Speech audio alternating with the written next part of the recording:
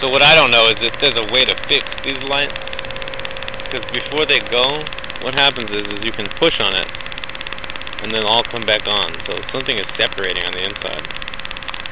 And I'm sure it's from crashing. If I tap it, going to stay that way for a little while.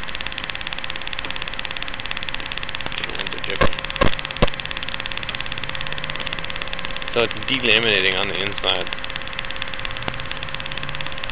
Looks like I busted off some of the plastic.